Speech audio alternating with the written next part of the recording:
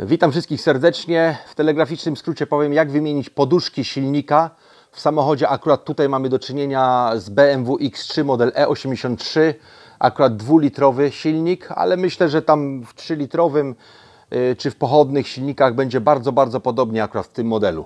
Więc tak, z lewej strony ja uważam, że niezbędne będzie ściągnięcie koła. Wszystko raczej powinno się dziać na podnośniku, dlatego że bez podnośnika, chyba że mamy kanał, ale z kanału też to zrobimy w sumie, też to zrobimy. Kanał lub podnośnik, jakiekolwiek tam jakieś kobyłki, coś, to w ogóle e, proszę się nie zabierać, bo to no, nie ma najmniejszego sensu.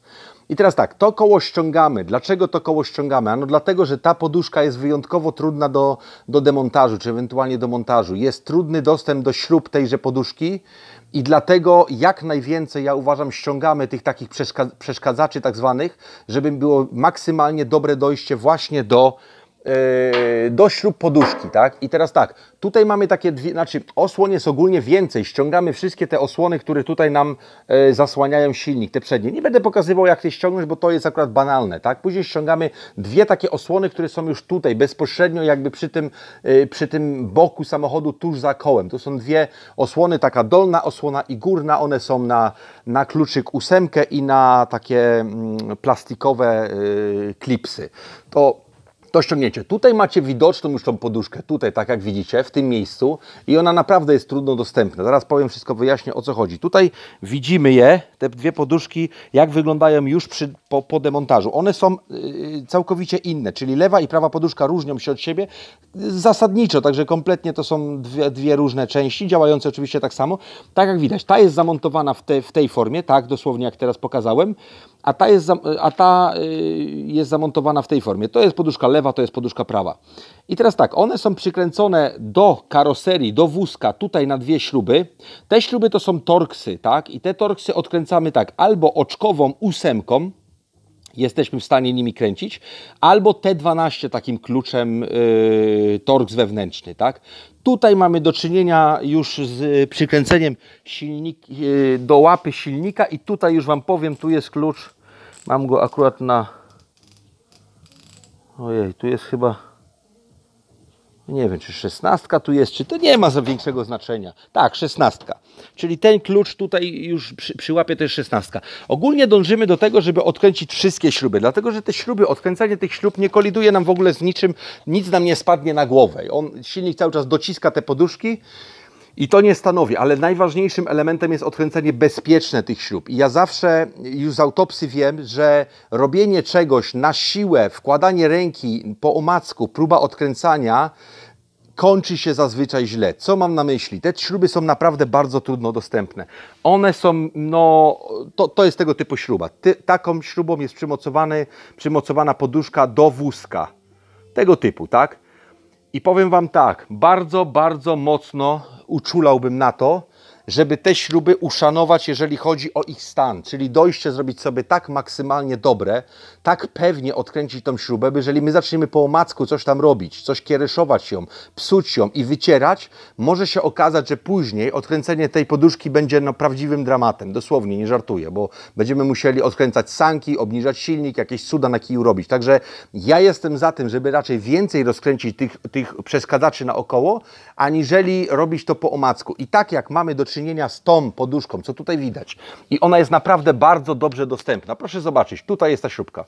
Biorę sobie kluczyk ósemkę, nawet krótką, bo one nie są mocno przykręcone. One, one dosyć, proszę bardzo, taką, taki klucz, krótka ósemka. Nakładam ósemkę na, na, na, na ten i bez problemu już można tym e, kręcić. I tutaj swobodnie to powinno pójść. Z drugiej strony, jak, poz, jak pozbędziemy się tychże osłon, identyczna historia. Proszę zobaczyć, śruba jest na wierzchu.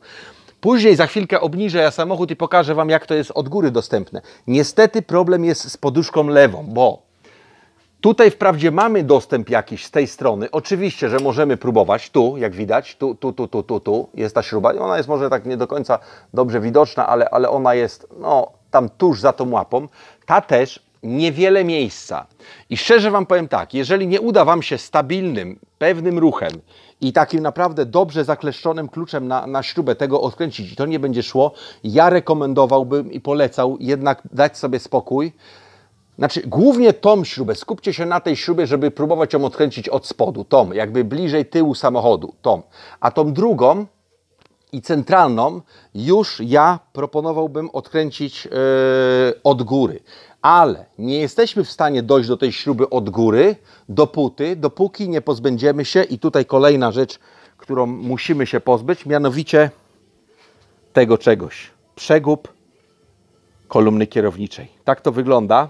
Nie ma co się bać, panowie, go odkręcać. Dlaczego? Ano dlatego, że to, ta część jest montowana w sposób, nazwijmy to, bezpieczny. Czyli tutaj jest taka blokada, która inaczej nie pozwoli nam włożyć tego na ten czpień kolumny kierowniczej, a z tej strony już nadziewamy to, że tak powiem, na wieloklin e, kolumny, i te dwa, te dwa elementy są tak skonstruowane akurat dobrze, że, że inaczej ich nie założymy. Jeżeli będziemy dbali o to, że kierownica nam zostanie w tym położeniu, co powinna być, nie będziemy tam nią kręcić, jak, te, jak, to, jak tego się pozbędziemy, to nic nam nie grozi. Założymy. To oczywiście y, jak wyciągniemy, to sobie ładnie możemy wyczyścić, znaczy możemy, musimy wyczyścić, przesmarować, żeby później te elementy gładko wsunąć na, na te właśnie elementy dalej kolumny, ale bez tego, bez rozkręcenia tego elementu nie dojdziemy do śrub. Ja bym polecał. To się odkręca tutaj ogólnie. Widać może z daleka, ja Wam pokażę. Nie wiem, czy to jest widoczne, bo tu mam taki problem. O, tam widzicie końcówkę y, z kolumny kierowniczej, jak wystaje, już przygotowane. To jest ta, ta końcówka do, do, do tegoż właśnie przegubu, a tam dalej jest taki trzpień, który wystaje bezpośrednio z, y, z kolumny.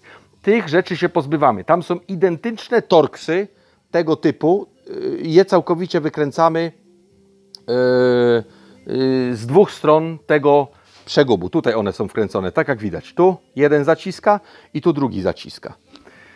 Także tego się pozbywamy i tego się pozbywamy od dołu samochodu, dlatego że później, od, znaczy od dołu, od dołu pozbywamy się tego elementu, tej śruby, która jest tutaj przy bezpośrednio już kolumnie kierowniczej, przy przekładni, przepraszam, kierowniczej, a to, co jest przy kolumnie, to, co idzie do kierownicy, ja bym odkręcał od góry. I teraz Wam pokażę, zademonstruję, jak ta sytuacja wygląda e, od góry samochodu. Tam zaraz zobaczycie, co mam na myśli, mówiąc, że lepiej jest e, lepiej jest rozebrać więcej rzeczy, żeby mieć dobry dostęp właśnie od góry pojazdu.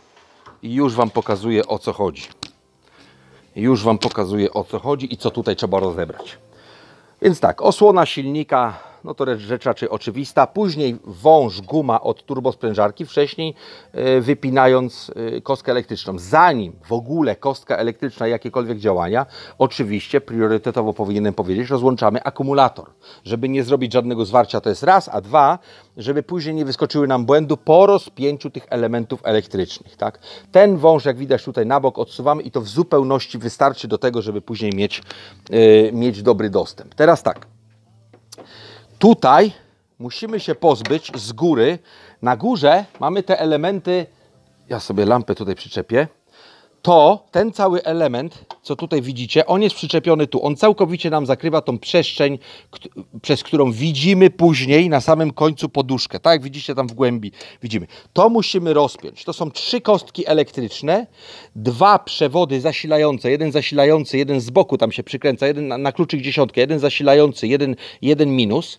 I później z tychże gumowych tutaj takich zawieszek, tak jak widać tu i tam na dole, wypinamy do góry ten cały stelaż tego elementu, wypinamy do góry i już go mamy takiego, nazwijmy to, pływającego. Już on jest tutaj nam, nie przeszkadza nam w działaniu na dole. I na dole zobaczcie, ja teraz do, bardzo dobrze podświetliłem, o, w tym momencie musicie patrzeć, jak widać po tej stronie, tu jest śruba, którą od góry dojdziemy kluczykiem ósemką nasadową, to odkręcamy z tej strony poduszkę. Tak jak mówiłem, lepiej się skupić, żeby tamtą śrubę tylną odkręcić od dołu bardzo ostrożnie, a tą, żeby odkręcić już od góry.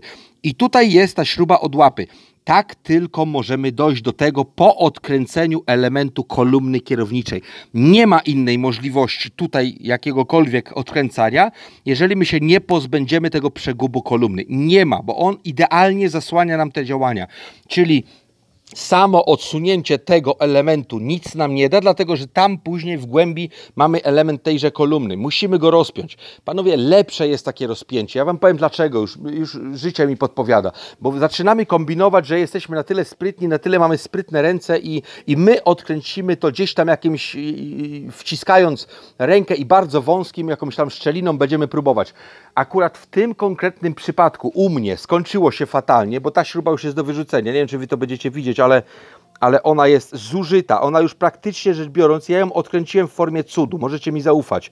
Na początku chciałem ją odkręcić właśnie takim sprytem, gdzieś tam od spodu, coś próbując, kombinując kluczem. Klucz nie do końca wchodził tak, jak powinien na swoje miejsce, nie miał dobrego oparcia, ślizgał mi się raz, drugi, trzeci i w końcu się wyrobiła ta główka i później naprawdę może dojść do tragedii. Dlatego ja nie polecam. Ja docelowo i tak musiałem uwolnić wszystko tutaj od góry, żeby dojść od góry do tego i później już idealnie to wszystko poszło. Taką konstrukcję klucza sobie zrobiłem, proszę bardzo zobaczyć. Cienki klucz. Dlaczego cienki? Bo tu można by było zastosować oczywiście yy, grubszy, yy, grubszą przedłużkę, proszę, ja tu mam też, do, do, do, czegoś zupełnie innego, ale zastosowałem wąską, dlatego że ta się dużo lepiej tam sprawdza, jest mniej miejsca i fajniej to wychodzi. Tu jest klucz na końcu ósemka i tym, tąże ósemką właśnie odkręcamy poduszkę yy, kierownicy od góry lewą. Tutaj, z tej strony, zobaczcie, tu jest przepiękne dojście, tak widzicie? O, ja teraz podświetliłem. Tu nie ma żadnego problemu od strony DPF-u i tutaj są te śruby prawie na wierzchu. Tutaj bardzo ładnie to poszło, także tutaj jakby nie muszę już nawet omawiać, bo, bo to jest widoczne. A, a, a, a, a strona lewa to niestety trzeba sobie tak pomóc. A to, to już jest yy, klucz do odkręcenia yy, poduszki od łapy silnika. Także trzy śruby w sumie bezpośrednio trzymają poduszkę, no ale żeby się do tych trzech śrub dostać, niestety musimy wykonać jakieś tam karkołomne działania. Później już, jak już mamy to odkręcone, no to, to nie muszę podpowiadać, że trzeba użyć jakiejś podpórki y, do silnika, jak mamy podnośnik. Ja zakładam, że ktoś robi to na podnośniku dwukolumnowym.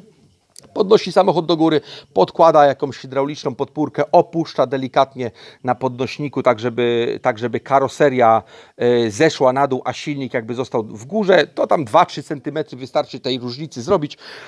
I ta poduszka od spodu bardzo ładnie nam wychodzi, także tutaj już nie ma żadnego problemu dalej z, z, z, tym demontażem. Ja teraz będę to sukcesywnie montował, bo celowo to nie, nie robiłem przed nakręceniem filmu, żeby właśnie pokazać ten proces proces tej, tej, tejże wymiany. Także myślę, że sobie poradzicie. Tych śrub nie jest zbyt dużo do odkręcania, ale ja mówię, polecałbym naprawdę, nie róbcie na siłę, nie odkręcajcie, bo tak jak jeszcze ta poduszka, dobra, no to tutaj jest takie dojście, że tu nie powinniście mieć żadnych problemów, tak ta lewa, jak popełnicie błąd, tak jak powiedziałem Wam przy śrubach, gdzieś założycie klucz nie do końca dobrej jakości, będzie Wam się ślizgał, będziecie mieli trochę rdzy na spodzie w wincie, oczywiście ja od spodu te gwinty, bo jest dostęp do tych gwintów, posmarowałem wcześniej, popsikałem jakimś tam preparatem, żeby to powiedzmy sprawniej y, poszło później, także to też, też uważam, że należy zrobić, ale ale nie daj Boże Wam się coś śliznie i nawet na doskonałej jakości kluczu to jest możliwe, bo tam jest tak mało miejsca, tak ciasno, bez rozkręcania tego przegubu kolumny kierowniczej,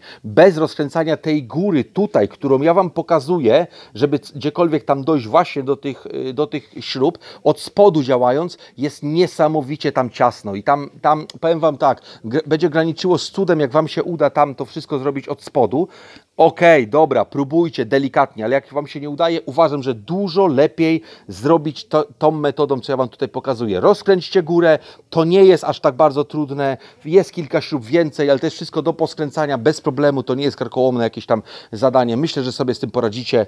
Także tutaj jednocześnie omówiłem, można powiedzieć, wymianę poduszek.